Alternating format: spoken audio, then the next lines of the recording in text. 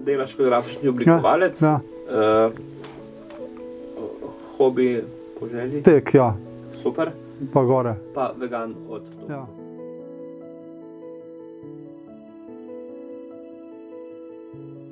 Lep pozdrav, sem Marko Tavčar, eh, prihajam z Ljubljane, eh, po poklicu sem grafični oblikovalec. Eh, V prostem času se rekreativno ukvarjam s tekom, eh, eh, blizu so mi tudi gore, eh, vegan pa sem od leta 2018.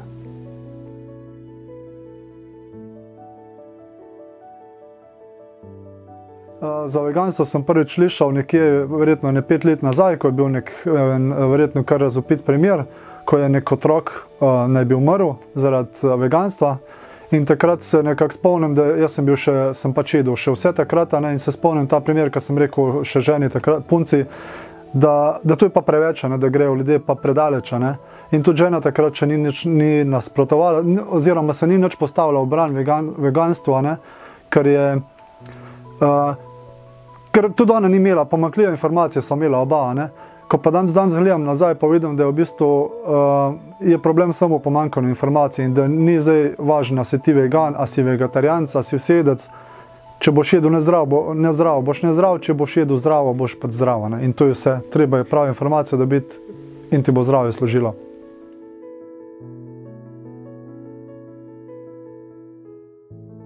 Ni, ni bil oglas, ampak je, bila, je bilo deljeno, je bilo, kaj se dogaja v mestni industriji. In uh, iz tega vidika pač uh, enostavno prej nisem videl, kaj se dogaja. No? In ko sem videl, da je zaradi tega, da jaz lahko imam zrezek na, na krožniku, da je treba nekoga ubiti, uh, sem pač rekel, da jaz tega ne bom podpiral. In to je, to je v bistvu osnova. Uh, nisem se ukvarjal ni, ne o zdravju, ne o nečem, ampak eh, ni, ni potrebe, no? ni potrebe in si ne zaslužijo.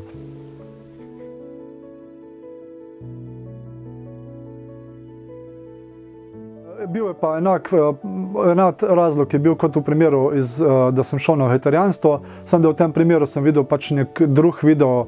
Pa ne vem, če se ne motim, so bili piščanci, ki jih pač mečejo, pa jih melejo, že takoj v samem štartu. In takrat sem pač vem, sem poklical ženo, ker je bila s prijateljicami eh, na morju. Sem jo poklical, sem rekel, le od danes naprej pri nas ni nič od živalskega. In tleba pika. Žena je pač glede na to, da me je spoznala kot vsejeca, pa nekoga, ki je jokal, jokal. rekel, da ni nič za jesti, če ni bilo mesa, je rekla, da je to pač nemogoče, a se hecaš. Sem rekel, ne hecam se, od danes naprej pri nas ni nič od živalskega.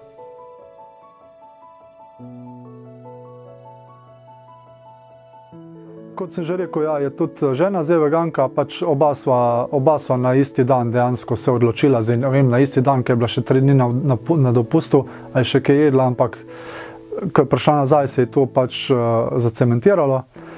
In ja, tudi otroka, žena je zdaj noseča in uh, um, vse, vse pač posveča v, v tem duhu, da pač proba, da, da zaradi najnega, konzumiranja oziroma najnega prehranevanja živali ne trpijo in na enak način bo pač vzgajala tudi svojega otroka.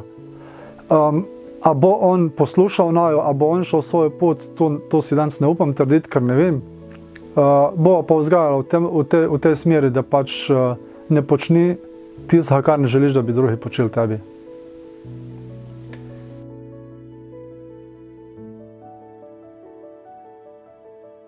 Moji primarni razlogi so izključno pač iz etičnega vidika. Jaz, ko sem se jaz odločil za to, mene ni zanimalo, ali bo v hladilniku kaj za jesti, ali bo imel v trgovini kaj za jesti. Jaz sem pač rekel, jaz tega podpiral ne bom.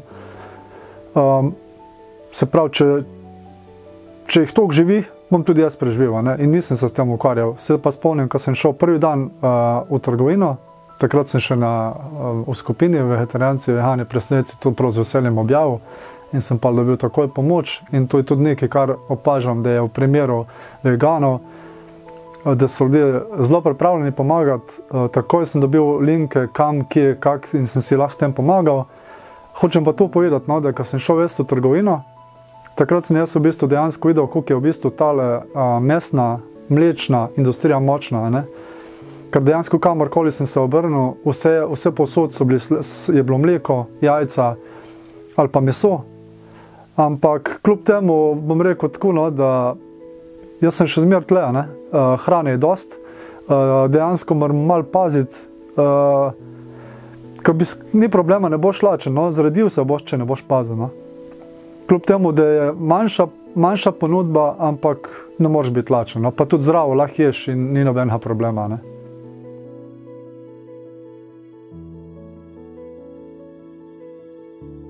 Absolutno mi je pa žal, no, da jaz sem pač vegetarijanc, se pravi, če se ne motim, od 34 leta, 34, ne me za besedo. Um, mi je žal, da, nisem, da sem toliko let uh, pač prispeval, da je ta industrija rasla in da so si nekateri polnili žepe eh, na moj račun, plus zraven sem podpiral vsta kriminal, ki se dogaja. In mi je žal, no, ker v bistvu, kad, kad danes, kad ko gledam nazaj, ne, pa ne samo za nazaj, tudi naprej, dejansko z najhujšimi kriminalci delamo lepše, kot živalmi, ki nam noč nočejo. In to je žalostno. In zdaj tiska pač tega ne vidi. Ne vem, jaz tega pač ne razumem.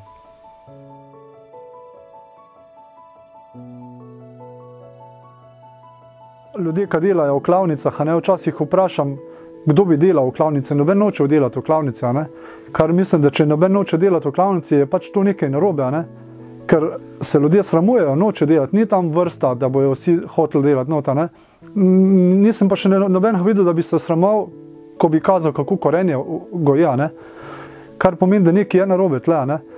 In uh, pač temu je treba narediti konc. No? In zaradi tega sem se tudi pač tle bil pripravljen izpostaviti, ker mi, mislim, nisem nekdo, ki bi komaj čakal, da bo prišla kamera, ampak uh, tu sem prišel zaradi tega, da pač povem, pa da mogoče, če enega prepričam, pa počasi pridemo do tistega, kot imam sam pravim, da čez 20 let bo razmerje veganov pa ostalih takšno, kot je danes uh, veganov pa mesojecev in če hočem do tega priti, moram še kaj narediti na te, v tej smeri.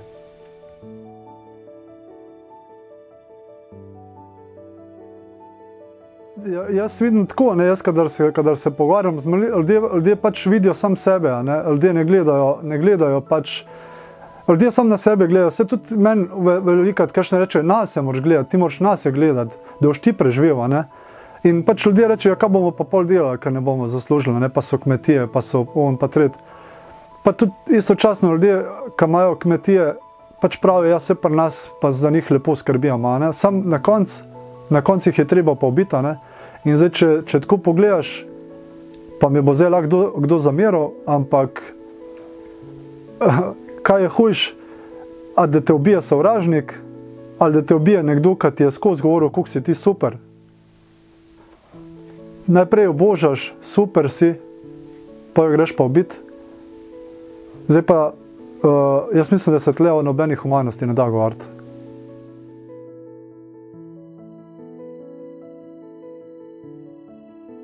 Da včasih slišim, oziroma velikokrat slišim, no, da pač uh, nekako usilujem svoje mnenje, pa da jim gledam na krožnik.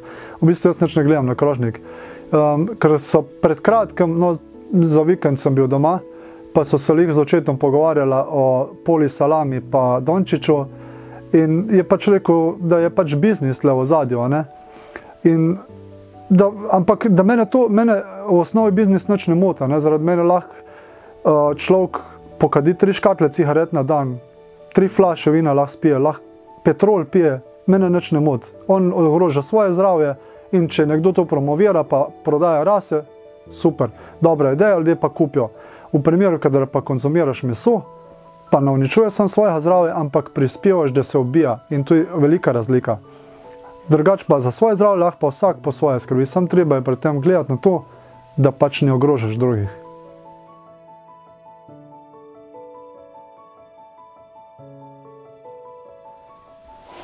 Jaz sem prepričan, da, jaz sem prepričan, da ljudje, ki niso vegani ali pa vegetarijanci ali pa, pač so vsejci, da imajo empatijo, ker, ker to je pač jasno.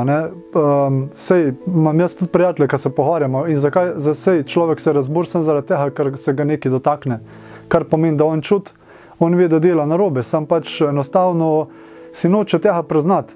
Ker če, če, če tebe ne prizadene, se ne boš razburjal. Ne? Um, razburja se sem zaradi tega, ker se te dotakne. Ampak uh, predvsem tem je pa pol čut to, ker v bistvu ljudi se dotakne, niso pa sposobni narediti nekaj v smeri, da ne bi bili užaljeni. Ker če nekdo meni reče, da jaz nisem užaljen, ker jaz pri tem ne prispevam in nimam biti zakaj užaljen.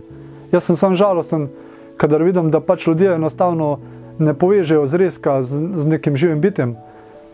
Uh, to je pa po moje prvi signal, no?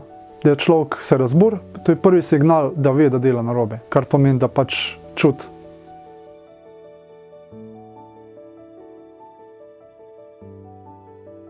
Um, za konec bi rekel pa samo to, da dejte, dejte odpreti oči, pa dejte sam, sam probat povezati um, zrezek ali pa mleko na krožniku, kozarcu, s tistem, kar je v zadju, pa boste videli, da, da tle nekaj ne štima. No? In uh, če vam še zmer, če še zmer ne bo jasno, se samo vprašajte, če bi šli delati v klavnico in če bo odgovoril ne, pomeni, da to, kar se dogaja z mestno mlečno industrijo, ni dobro in da je treba nehati s tem.